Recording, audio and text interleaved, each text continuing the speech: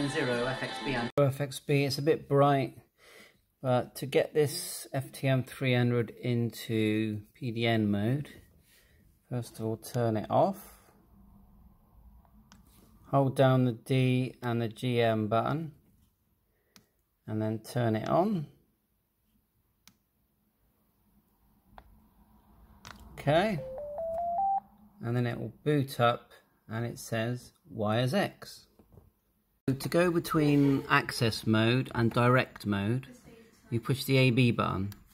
So when it's in that yeah. display, you've effectively made the FTM300A a hotspot, and it you need to have a uh, a dummy load in the back because you're going to give out way too much power. Um, you know, everyone's going to receive this, uh, and whatever you link to on Wires X will be will be heard. So when you go into uh, in this mode, you can use any radio you've got that's Fusion, um, and it will uh, you know it will work. Um, if you push the AB button, it says direct. Now you just pick up the the FIS microphone as normal. And if we look at my Wires X screen here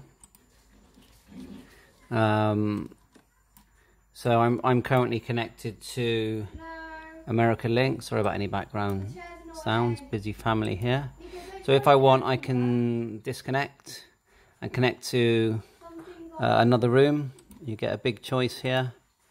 Let's just move this out the way. So look all these all these different rooms that we can connect to. Basically call it Wires X mode and you can put favorites up here.